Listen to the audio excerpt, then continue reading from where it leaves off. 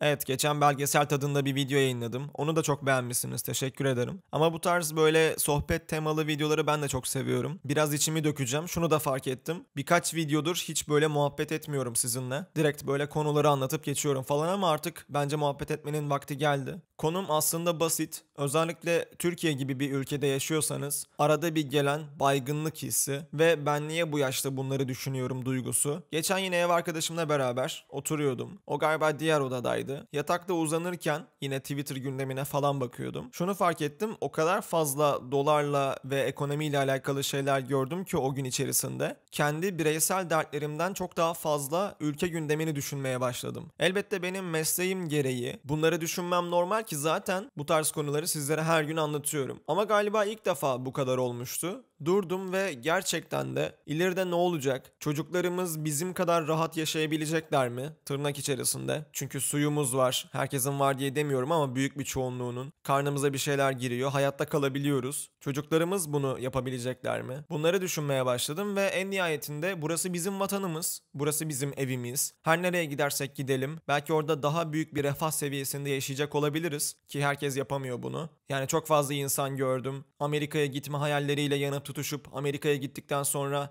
orada daha kötü şartlar altında yaşayan, çünkü tutunamayan. Dediğim gibi en nihayetinde burası bizim yuvamız, anılarımız, çocukluğumuz her şey burada geçti ve nereye gidersek gidelim bizim kendimizi en iyi hissedeceğimiz, en ait hissedeceğimiz yer burası olacak. Belki bazılarınız böyle düşünmeyebilir ancak ben böyle düşünüyorum. Refahtan, huzurdan daha önemli birkaç şey varsa o da aidiyettir ve benim kendime ait hissettiğim yer burası. O yüzden işte kendime oturup böyle düşünürken buldum ve yoğun düşündüm gerçekten. Sonra ev arkadaşım yanıma geldiğinde daha bireysel şeylere üzüldüğümü düşündü ve öyle söyledi bana hani ne oldu falan diye. Ben de hayır ülke gündemi beni çok sıktı, çok baydı ve bu yüzden üzgünüm. Geleceğimizi düşünüyorum dedim. O da şöyle bir durdu düşündü. Bazı insanlar bunu düşünmeden yaşayabiliyorlar ve gerçekten de çok özeniyorum onlara ya işte ben gündemi çok takip etmiyorum diyen tayfa. Onlara da bir şey diyemiyorum çünkü bu bir zamandan sonra psikolojik bir mesele haline geliyor. Ve eğer psikolojiniz bunu kaldırmıyorsa takip etmemeniz çok normal. Ben de mesela podcast'a başlamadan önce hemen az önce yani bir haber gördüm. 50 kuruşun maliyeti artık 66 kuruşmuş. Bir modum düştü yalan değil ama gerçeklerden kaçarak da bir yere varamayacağımı biliyorum. Bunları bilmek, öğrenmek zorundayım. Ve ileride oy kullandığımız zaman en azından bir şeyleri değiştirebileceksek en kısa yoldan bunun bilincinde olarak sandığa gitmek istiyorum. Açıkçası burada bizim jenerasyonumuza da bir sitemim olacak. Çünkü çok fazla böyle insan gördüm. İşte onlar gitsin de kim gelirse gelsin. 2023'te her şey değişecek kafası. Ya kimden bahsettiğimi zaten anlıyorsunuz arkadaşlar. Ama ben şunu söyleyeyim. Kesinlikle CHP'li bir insan değilim. Madem siyasi parti adı da veriyoruz. Kesinlikle AKP'li bir insan da değilim. Ha apolitik de değilim. Yani bir politik düşüncem var, siyasi fikrim var. Ancak şu ankilerden hiçbirine uymuyor. Ne diyorduk? 2023'te onlar giderse her şey düzelecek. Kim gelirse gelsin kafası. Böyle olmayın arkadaşlar. Maalesef ki bizim Z jenerasyonu olarak diğer jenerasyonlardan daha büyük bir sorumluluğumuz var. Bu da siyasi fikirleri, politikayı biraz daha bilmek zorundayız. Türkiye gündeminin içerisinde olmak zorundayız. Çünkü geçmişe göre iletişimde, haberleri alma hızı da çok daha kuvvetli ve hızlı. Ve biz bugün dolar bir kuruş artsa, euro bir kuruş artsa hemen haberini alabiliyoruz.